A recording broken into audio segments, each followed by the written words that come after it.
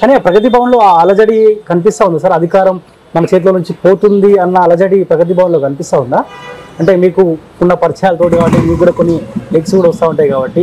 So ఆ భయం వాళ్ళలో ఉండదని మీరు అనుకుంటా ఉన్నారా? మామూలుగా లేదు ఆ భయం. మామూలుగా లేదు భయం. ఓ టార్గెట్ పెట్టిండు. ఈ రోజు ఇంతమందిని ఉమ్, తోలుకురావాలా అంతే. ఇంతమందిని మీరు వేరే పార్టీ పని చేయకుండా చేయాలి. టార్గెట్లు పెట్టి టైం బాండ్ పెట్టి ఉమ్, ఇంత అవసరం ఏంటి చెప్పు. ఉమ్, ఏం అవసరం? చాలా ధైర్యంగా ఉన్నాం. చాలా గంభీరంగా మనం గెలవబోతున్నాం.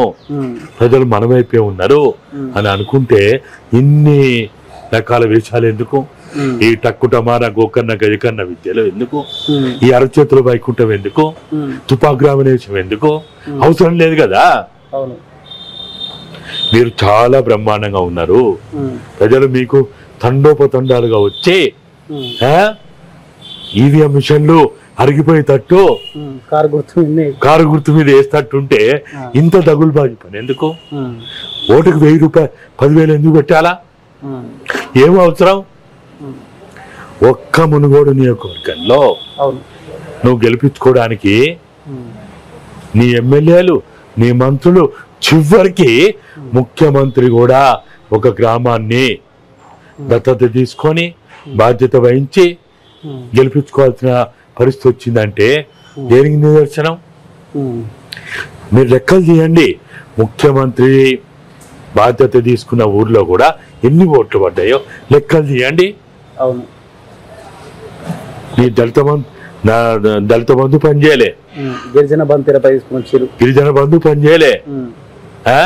ఏది పని చేస్తుంది గ్రామానికి మంత్రి ఎమ్మెల్యేలు ఇన్ఛార్జ్ ఉన్న గ్రామంలో కూడా సో అక్కడ కూడా ఓట్లు లేని పరిస్థితి. మంత్రులు ఎమ్మెల్యేలు పక్కన పెడదాం.